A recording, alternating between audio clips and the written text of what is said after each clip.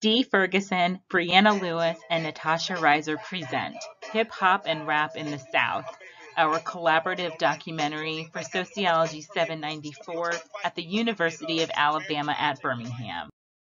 Hip hop was pioneered in New York's South Bronx in the 1970s by Jamaican born DJ Kool Herc, real name Clive Campbell, a monumental party hosted by DJ Kool Herc in 1973 is remembered as the party that launched the hip hop movement. Four elements are defined as true hip hop expression 1. DJing or turntablism, 2. MCing or rapping, 3. B-boying or breakdancing, and 4. Visual graffiti art. Rap lyrics in the 70s and 80s often contained bold and powerful messages about social issues like growing up in the ghetto, discrimination, the crack epidemic, and the struggles to be black in America post civil rights. Per professor and author Derek Aldridge, the most radical ideas often grow out of a concrete intellectual engagement with the problems of aggrieved populations confronting systems of oppression.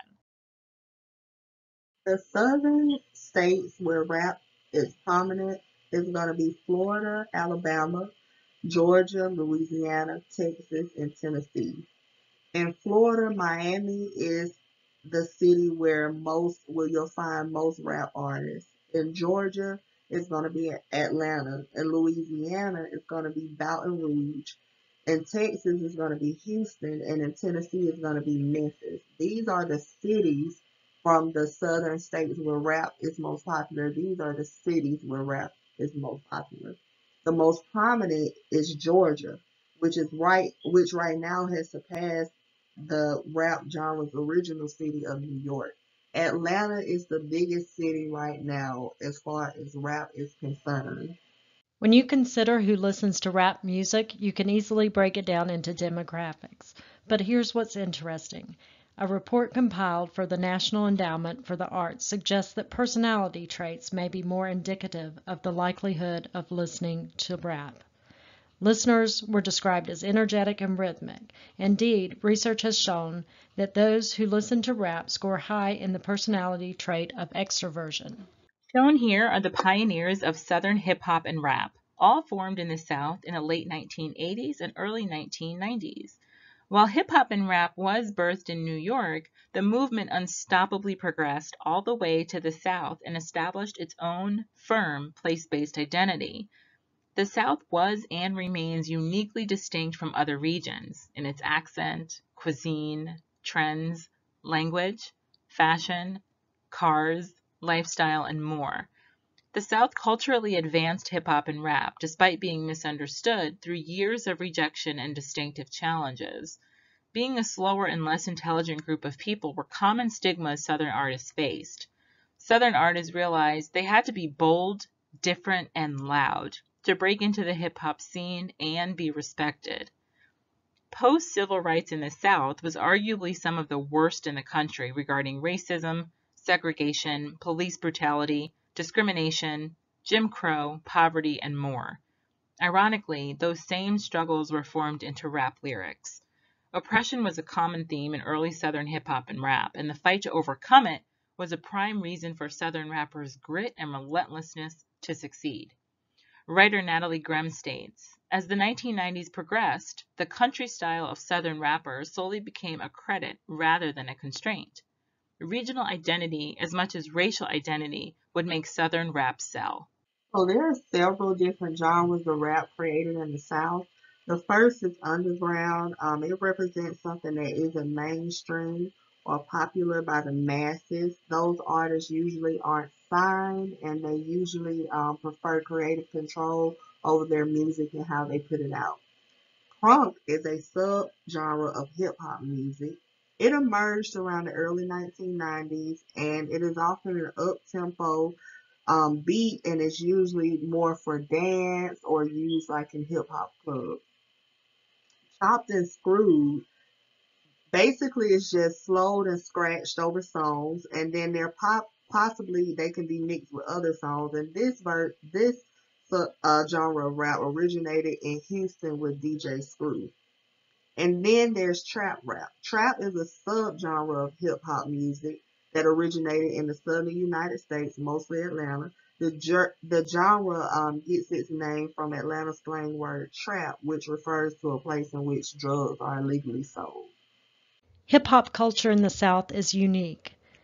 An art installation entitled The Dirty South Contemporary Art, Material Culture, and the Sonic Impulse uses several mediums from painting to material items and music as a way to convey the historical and contemporary events that shaped and currently define the culture of the Dirty South.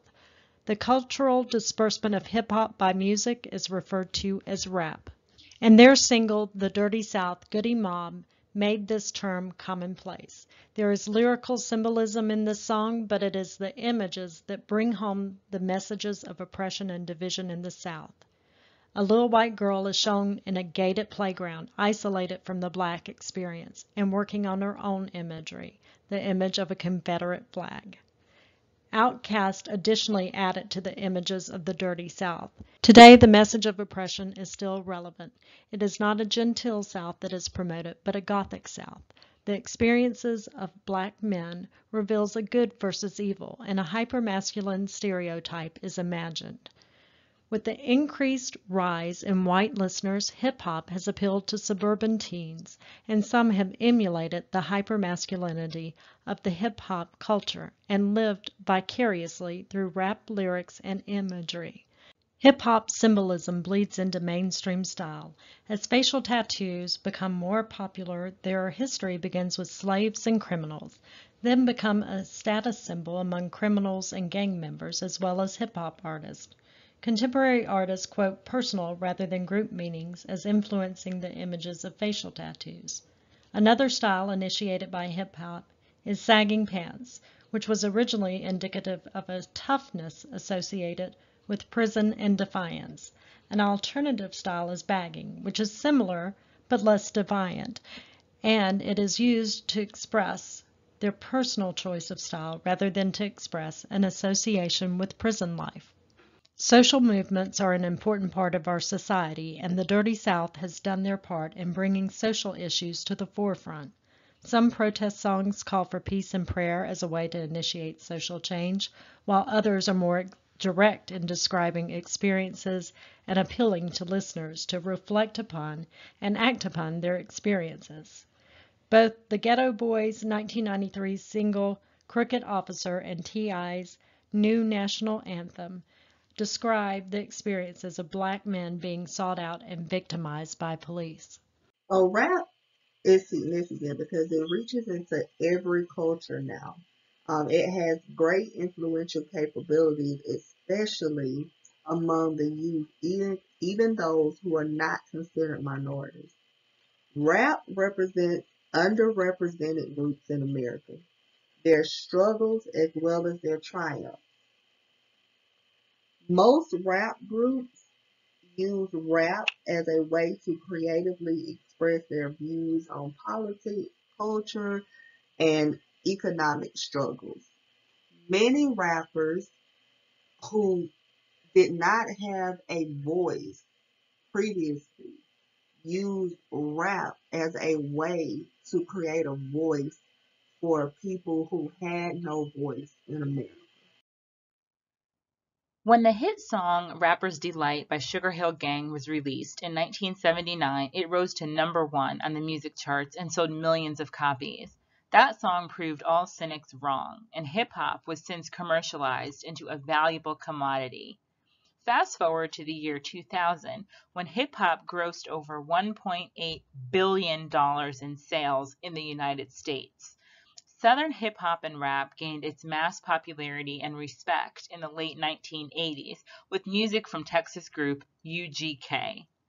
A defining moment for Southern rap was at the 1995 Source Awards. The enormously popular duo, OutKast, had just been awarded Best New Artist. That moment is remembered as the first time when people began to take Southern rap seriously. In 2004, OutKast won six Grammys, including Album of the Year, for their multi platinum fifth album. Southern hip hop reached its height from 2002 through 2004. In 2002, Southern hip hop artists accounted for 50 to 60% of the singles on hip hop music charts. Kendrick Lamar, a hip hop and rap artist who won multiple Grammys, Billboard Awards, and multiple other awards, also made history by winning a 2018 Pulitzer Prize for Music, marking the first time in the prestigious prize history that it's been given to an artist outside of the classical or jazz community. One, two, three, Let me ask mess up. And the kids of the future tell me why you can get more for being a CEO than you can for being a teacher.